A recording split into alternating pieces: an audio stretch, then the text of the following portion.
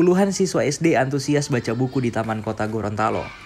Dinas Perpustakaan dan Kearsipan Kota Gorontalo pagi tadi menggelar wisata baca di Taman Kota Gorontalo bersama para siswa SD yang dilaksanakan pada hari Rabu 15 November 2023. Program itu bertujuan untuk menarik minat baca bagi para pelajar.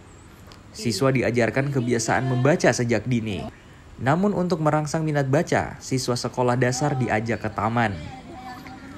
Bagi Dahlia, anak-anak tak harus membaca buku itu di dalam ruangan atau lingkungan sekolah. Mereka disebut perlu tempat terbuka seperti Taman Kota Gorontalo saat ini. Kata Dahlia, pihaknya telah menjalin kerjasama dengan Dinas Pendidikan Kota Gorontalo untuk mengajak siswa-siswi SD sekota Gorontalo ke tempat wisata dan keluar sekolah setiap bulan. Pantauan Tribun Gorontalo.com, para siswa begitu antusias dalam mengikuti wisata baca itu. Suara tawar yang terdengar saat mereka menyimak dongeng. Eh, kegiatan ini memang kami laksanakan uh, setiap uh, bulan untuk itu tadi bagaimana kita bisa menaikkan minat baca masyarakat terutama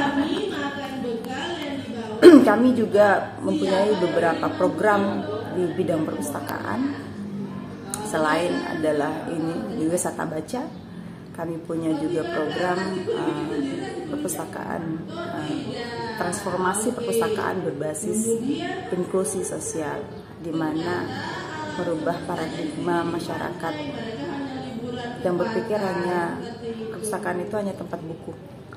Terima kasih sudah nonton. Jangan lupa like, subscribe, dan share ya.